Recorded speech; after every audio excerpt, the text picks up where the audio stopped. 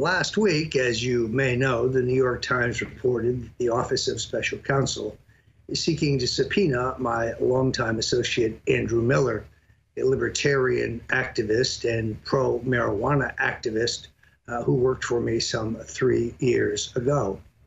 Uh, we also know that his lawyers are moving to quash that subpoena with a very substantial motion. That motion will be heard uh, according to lawyers, uh, uh, in July, and then perhaps could be adjudicated as late as August, depending on how it goes. Uh, I am told that the underpinnings of the motion are based on a legal opinion by Professor Steven Calabresi.